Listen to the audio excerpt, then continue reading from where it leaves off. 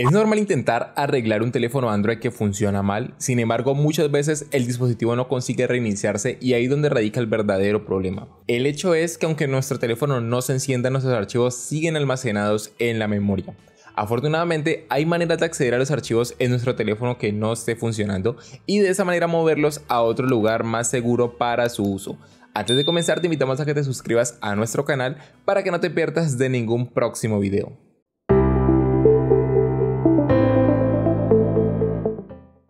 ¿Qué puede causar que mi teléfono Android no encienda? Pues bueno, existen muchísimas razones por las cuales esto puede sucederte. Sin embargo, aquí te vamos a mencionar las que suelen ocurrir con mayor regularidad. Y es que bueno, en un primer momento puede que se quede congelado o apagado. En estos casos se debe a que el mismo no responde cuando se trata de encender.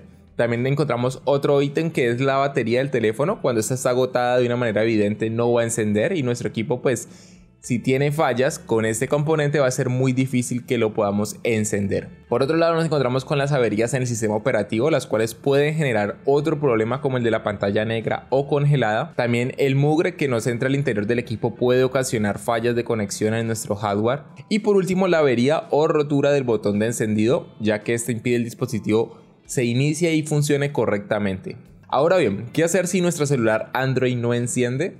Pues bueno, algunos de los problemas mencionados antes se pueden resolver con relativa facilidad, ya que por ejemplo si descubrimos que todo se debe a falta de carga energética, pues simplemente vamos a utilizar nuestro cargador y el cable USB. Por otro lado, si el inconveniente es una avería del sistema operativo Android, las marcas de teléfono nos ofrecen básicamente una solución y con eso nos referimos a la restauración al punto de fábrica, aunque el problema es que ese procedimiento va a generar la pérdida de todos los datos que estén almacenados en el equipo. También podremos activar lo que es el modo de recuperación, ya que en la mayoría de teléfonos se va a poder acceder a él presionando el botón de subir volumen más el botón de inicio o el botón de encendido y todos deben estar presionados al mismo tiempo.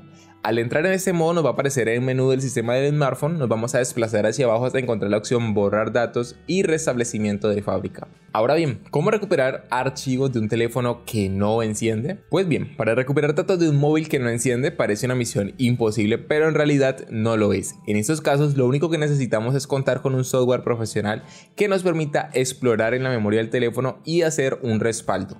Para ello la mejor herramienta que podemos encontrar en internet es Data for Android y este es un software de generación avanzada que nos permite recuperar hasta 8 tipos de archivos. Utilizándolo vamos además a poder recuperar recuperar fotos, videos, mensajes, datos de WhatsApp, contactos, documentos y hasta el historial de llamadas.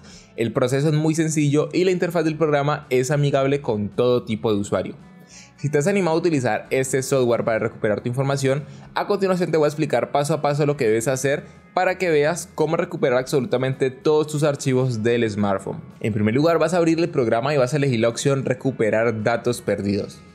A continuación vas a conectar el dispositivo averiado a tu computador mediante el uso del cable USB y vas a activar la depuración USB en tu teléfono Android. Esta tiene una ruta de navegación diferente según la versión del sistema operativo que tengas, pero la interfaz del programa te va a dar un paso a paso de lo que debes realizar. Luego de eso van a aparecer en pantalla los tipos de archivos que vas a poder recuperar, vas a elegir todos los que necesites recuperar y luego harás clic en el botón empezar.